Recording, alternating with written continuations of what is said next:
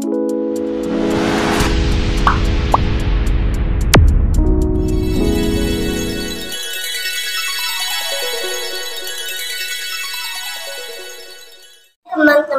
saya akan membaca buku cerita judul Tupai.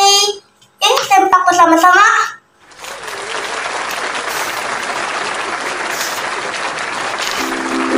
Pada zaman dahulu, kerajaan Tupai sedang ada pesta buah kelapa. Pas pesta ini diadakan dalam rangka kelahiran putra pertama raja.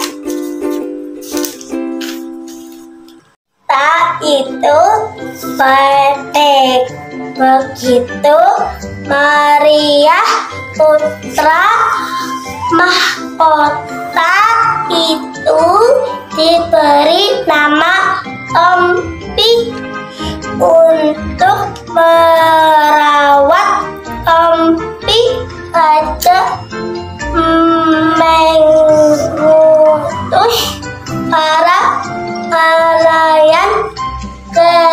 kerajaan untuk menjaganya dengan sangat baik.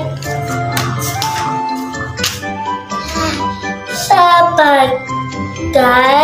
putra mahkota Empi dirawat oleh para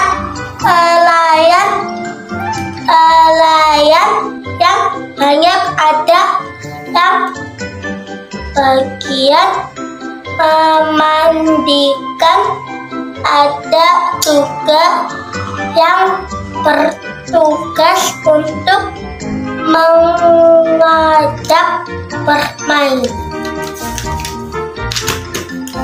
Suatu hari Tompi bermain di taman ia melihat ada seorang penjual rambutan sedang menjajakan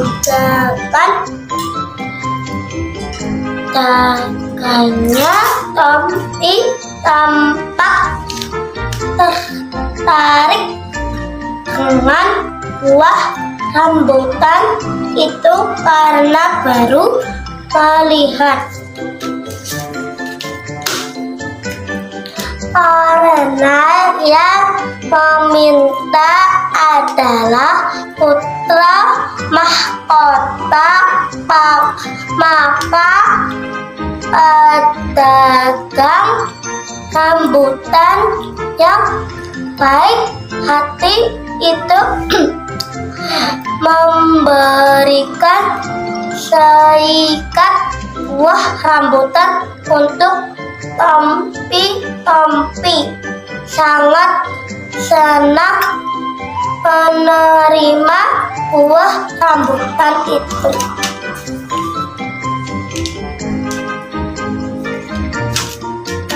Tompi begitu asik menikmati buah rambutan tiba-tiba datang juga penjual durian menjajakan dengannya.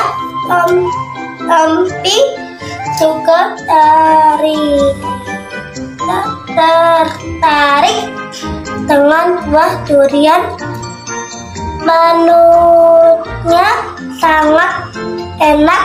Kenapa buah degan kulit penuh durian-durian tajam seperti itu. Tompi sangat gembira mendapat aneka buah ada di hadapannya dengan perasaan gembira disang disang disantapnya.